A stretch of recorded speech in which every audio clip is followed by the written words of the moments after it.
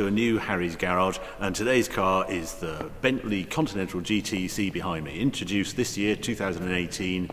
Um, to replace the original model that came out, I can't believe it was that long ago, but 2003. That's 15 years in production, the original Conti GT did. That's twice the life cycle of a normal model. Just shows you how successful the model was for Bentley.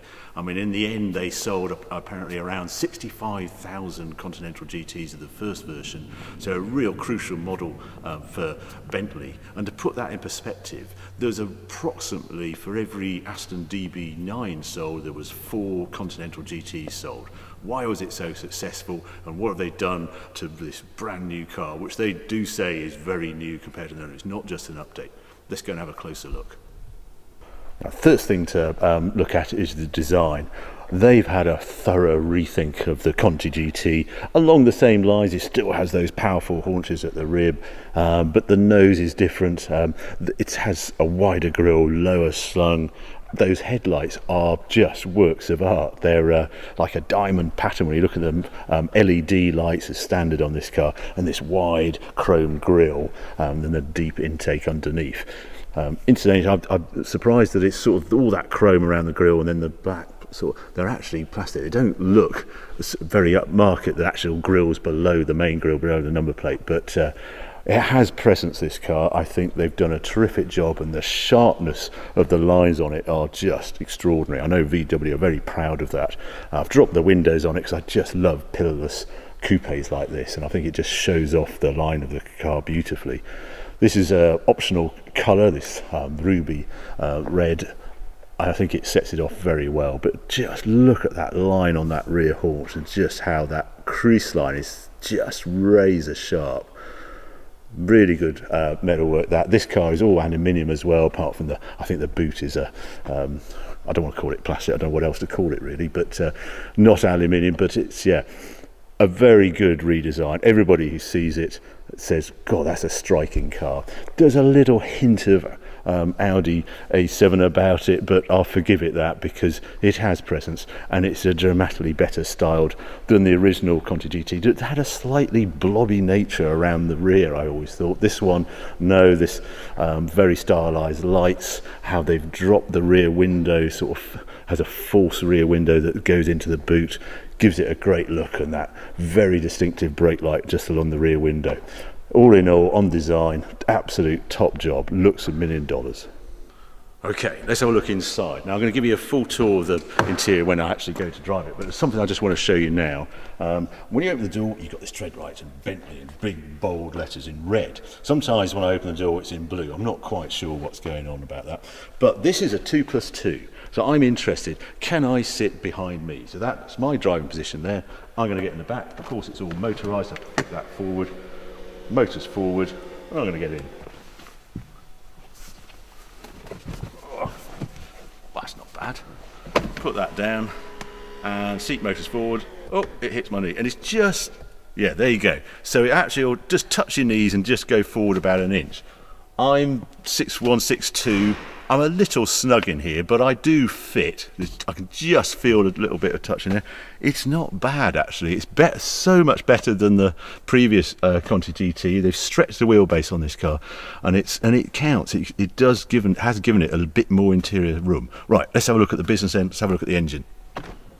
And there we go this W12 engine that um, Bentley has made its own in this configuration, this new spec, and it's really changed. They've looked at firing orders and it can shut down cylinders, all sorts of things. It produces six litres, it says there, produces 626 horsepower and 900 newton meters of torque, which is 664 foot of uh, torque. Enormous thumping power unit. Um, what's quite nice is actually this is part of an option pack. It's got an uh, actual metal oil filler. When I have a look around in here, I can't actually see a dipstick. I don't think it possesses a dipstick. I think that's all electronic. And what they've managed to do, the engineers, is somehow managed to get this pack 150 mil further back in the chassis for, for handling, obviously. And they also have this, this, this very distinctive brace, this cast aluminium here brace between the front um, struts.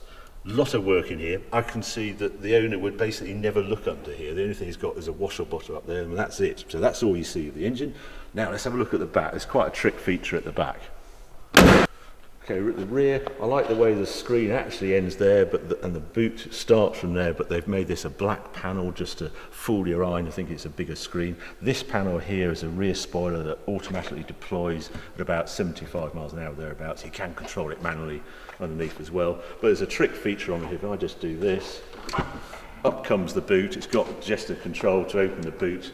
And I love the way the rear lights sort of tuck into the boot like that. Reasonable size boot. I haven't checked it here actually. What have we got in here? Oh, just a battery underneath there, and a, um, yeah, some foam to fill it up. Um, no way of closing it apart from pressing a button. And there you go. So that gives you a little idea about the Bentley. Let's take it outside, take it for a drive.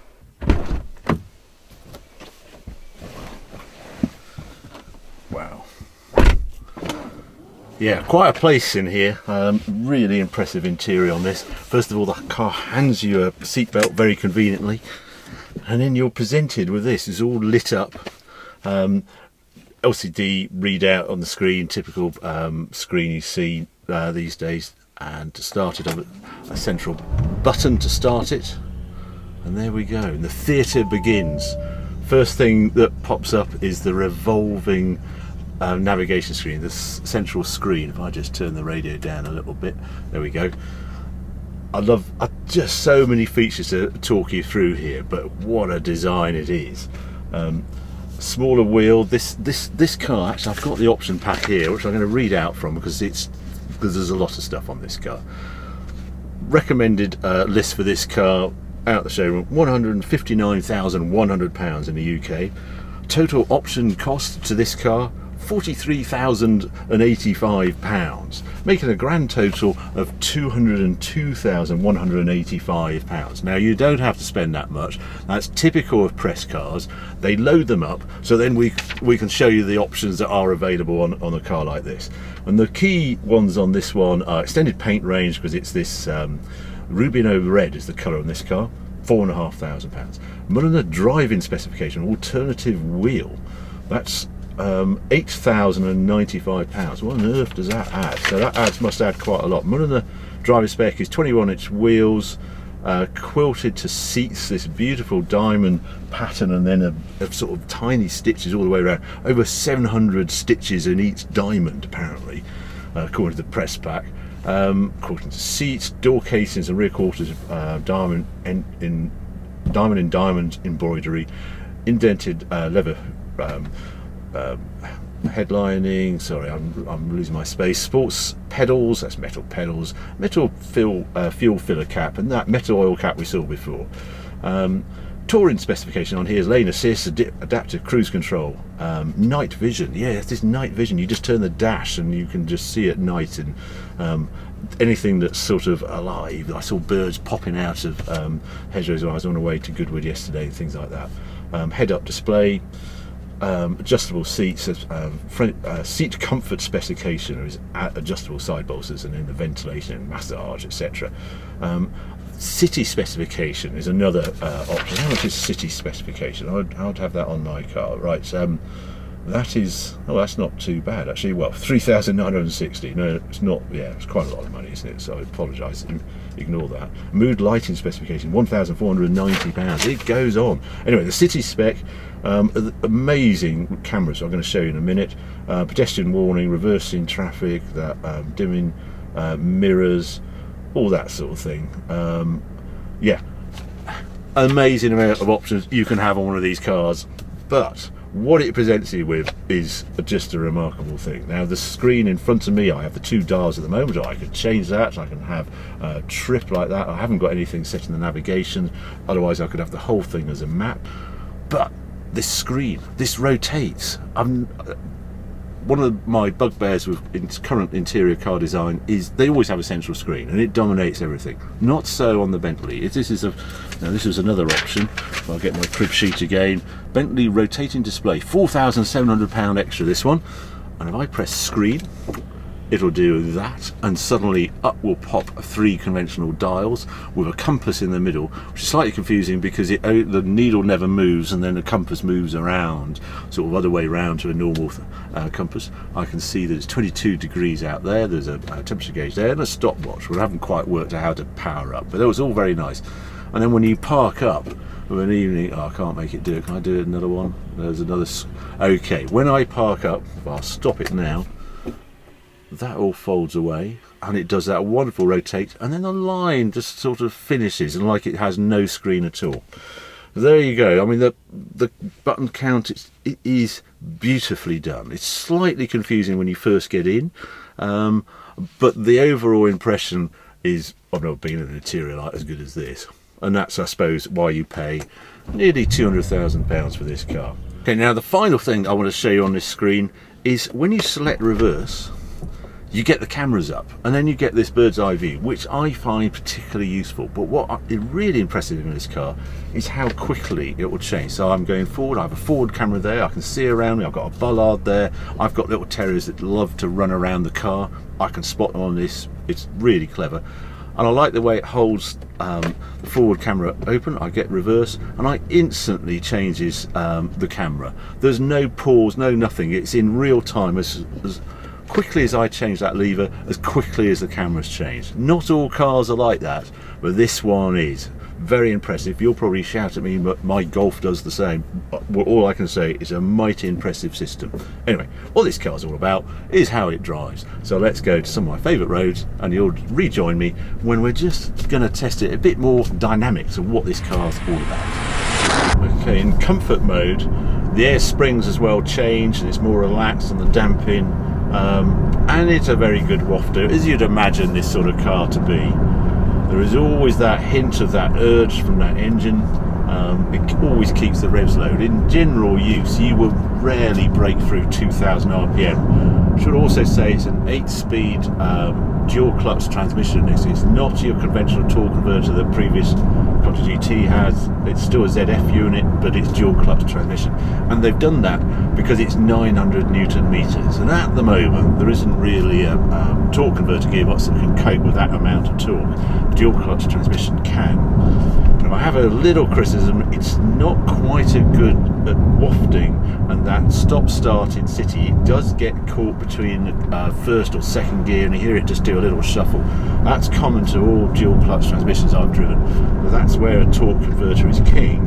But then if you want the dynamic drive and an instant crack of a gear change um, that's where you go for dual clutch. Oh, as I'm about to find out, right, I'm going to take it out of um, comfort, I'm going to put it in Bentley, going to, no, I'm going to swap it around to sport. The other fun thing with sport, as soon as I touch the paddle on the steering wheel, I'm in manual mode, and it's low geared, um, which is one of my bugbears again, but second gear is a very usable gear.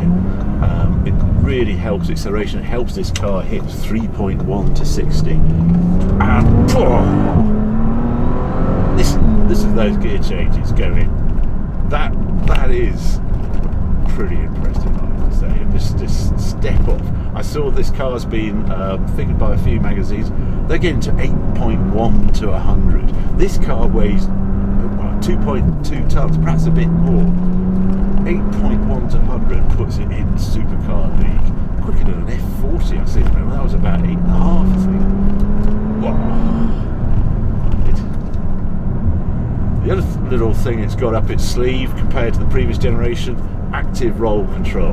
Um, that was introduced on the Bentayga.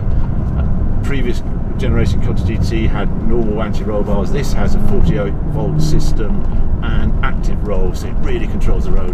But when I'm in this sort of mode, the downside of super stiff roll um, anti-roll bars is it had a jiggling effect on the suspension. This can mean that the suspension can act normally and it isn't compromised by stiff anti-roll bars. So it's a confused car. What is this car? Is it a luxury car? Is it a race car. What I think it's all changed since the car was first introduced. Who would have thought we'd see a, a, a Bentley at racing at GT3 level? But there is a, a Continent, new Continental GT race car. There was of the previous version. There is of this one. Never thought I'd see that. So this car has to, it plays that role, that dynamic role, and that's its sort of ace card. I think that's why it always sold so well in the past because it could do the luxury and it could do the dynamic. It could shock with its performance, and this one certainly shocks. This this should not, at this weight, behave like this through these bends. 2.2 ton car. No doesn't want to understeer. God, that feels sharp. Hasn't got rear steer like some cars have in this class. And that is a heavy unit at the front, but those active anti-roll bars really work and that suspension. That, I've got it in sport, so it's a stiffer sprung, but it dealt with that compression very well.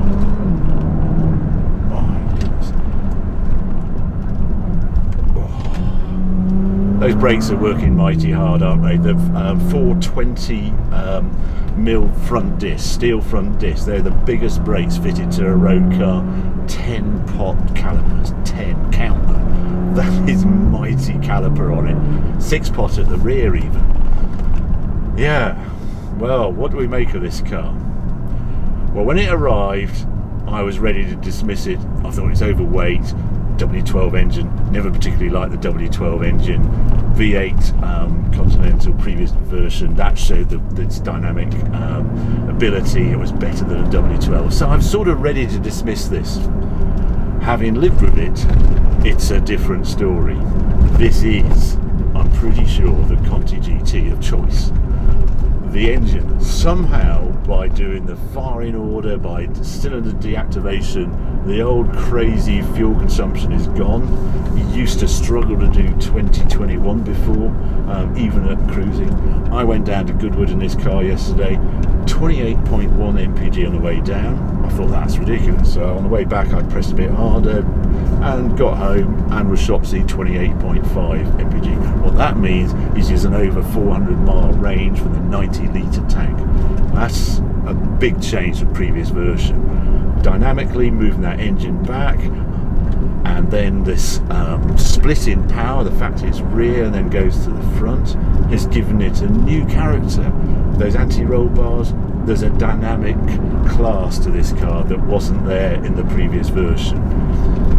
So yeah, I really like it. Only other downside is a bit more road noise I would like, but that seems to be typical of this class, the size of tyres we're getting to, but it's very well insulated. I thought in this class I wanted the DB11. I like the snarl of the DB11. That's always been a Christmas W12. It has a gruff voice. It doesn't sound like a um, 12 cylinder, but it delivers the horsepower. And over the DB11, the big change is how it makes you feel when you step inside. It's compromised the DB11 interior. This isn't compromised in any way. This is world-class interior. I'd actually say it probably leads the world. Other cars you consider in this class are the um, Rolls-Royce Wraith, perhaps, or the Ferrari um, Lusso. They're just they're more money. Rolls-Royce Wraith, I like that. If you want the rear space, it's got that so if that's important to you, probably choose that car, but it's more expensive by about 50, 60,000, so quite a lot. Ferrari FF, very special car, more space. But this one, 159,000, for what it delivers, this is supercar performance, world-class interior and luxury. I think they've got an absolute hit on their hands with this car at Bentley. Um, maybe this sector isn't the most popular now, but this is the definitive sport GT cruiser that out there at the moment, and it's got this extra dynamic with this new model. So yeah, top job Bentley. Excellent car. So I hope you enjoyed the video. If you have, keep watching, keep subscribing. More videos coming along very soon.